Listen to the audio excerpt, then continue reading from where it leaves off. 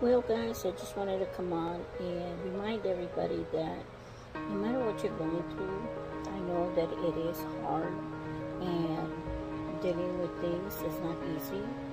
But when you're patient and let the universe know that you are roughing it out with whatever you're going through, it eventually puts things in place for you to succeed.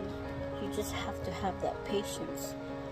And sometimes we forget to have patience and we want to like push things into place that are not going to fit in. And when you do that, then you mess up the timeline onto where it's supposed to fit in for you. So remember, Stay patient, things will work out, and the universe will reward you and give you your blessings. So just stay positive and remind the universe of that. And stay blessed. Bye.